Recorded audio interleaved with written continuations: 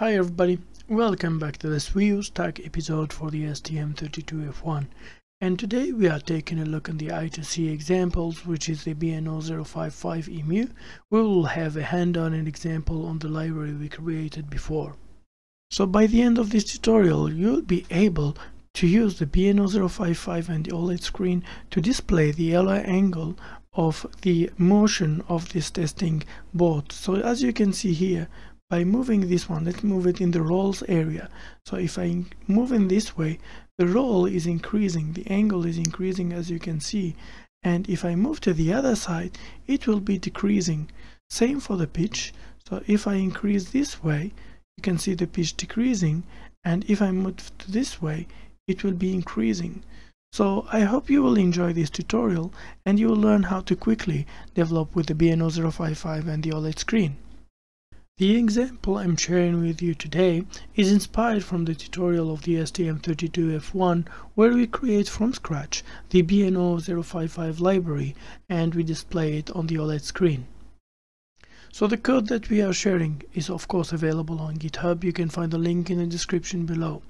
The code that we are going to use is C and the program we are going to use for coding is Keil. The hardware that we are going to use for this time is as usual the STM32F1 aka Blue Pill and also the BNO055 which is a board that we bought from the um, AliExpress, the Chinese board. Finally, we are going also to add the OLED screen to um, display the data that we will get from the BNO055. So before we jump to the code, let's have a, a look on the testing example. So we will have the STM32F1 connected directly to the BNO055 and as you can see here we do have the volt the, the VIN is connected the 3.3 volt ground to the ground and the SCL to the SCL and SDA quite simple. But the last one which is extremely important is about the 3.3 volt as we need to have it high because our selection in the code we are going to use the slave address uh, the hexadecimal 29 and this is a very important step so the code can work. On the other side we are connecting using the same I2C the OLED SSD 1306 which has the address 78 hexadecimal. So there is no change against the previous tutorial Finally, the libraries that we are going to use will be the GP drive, the SysTick time, the I2C drive, the OLED drive. This is all the one that we have seen before. And also we are adding the BNO055 drive, which an address we worked with, which is a library we worked together. And finally the help function. All these libraries details are provided in the description. Okay, so now that we have taken a look on our circuit, we can take a look uh, and jump to the code. So guys, as usual, if you enjoy this kind of video and you'd like to get more, you have just to subscribe.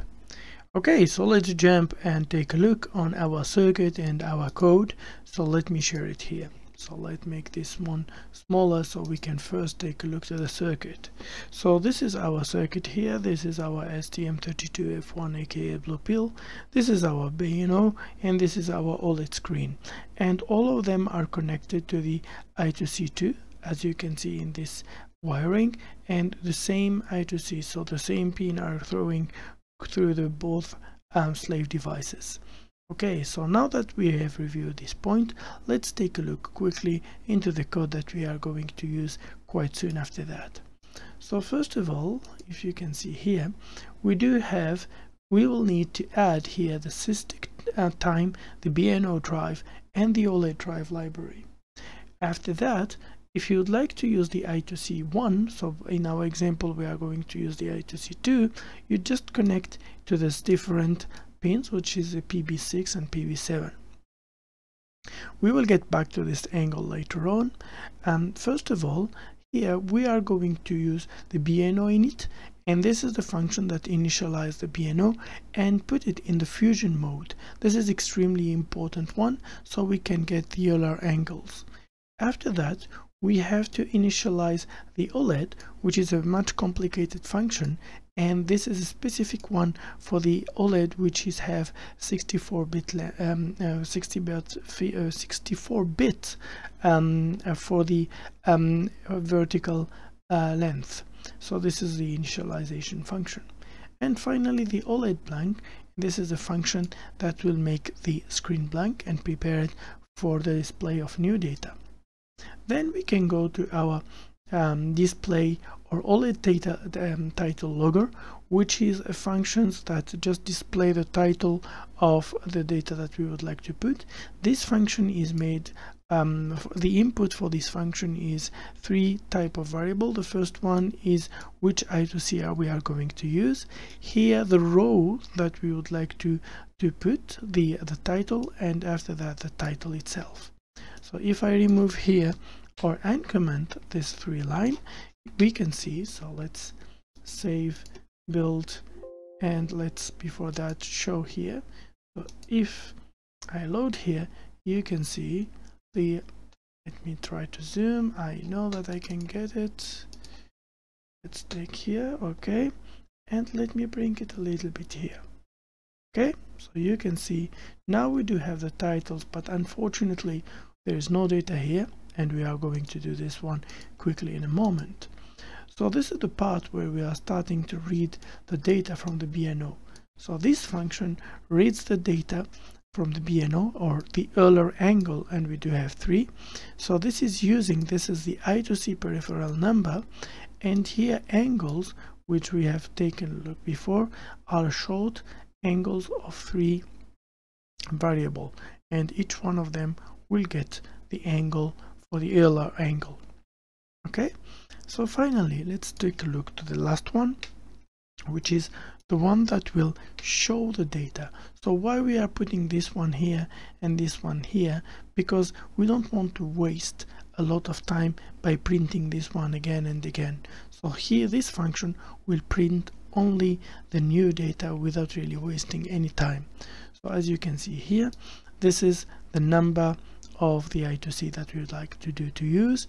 This is the row where we would like to display the data and this is the data.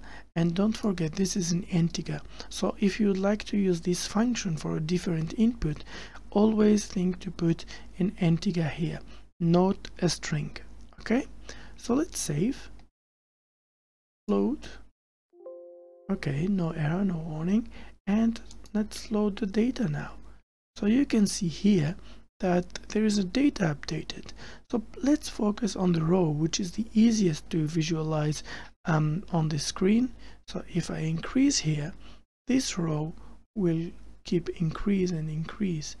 And if I decrease, I move on the other side and move here, you can see the row is decreasing. So we do have this angle rate. And if we do same for the pitch, so if I increase the pitch here, it will be increasing and if I move to the other side it will be increasing in the other side. So it will be decreasing the other side but increasing in this side. Okay? So you could see how easy and quickly we could get the data and display it. It's almost two functions and that's all. Okay? So I hope you enjoyed this video. If you like it give it a like please subscribe and thank you so much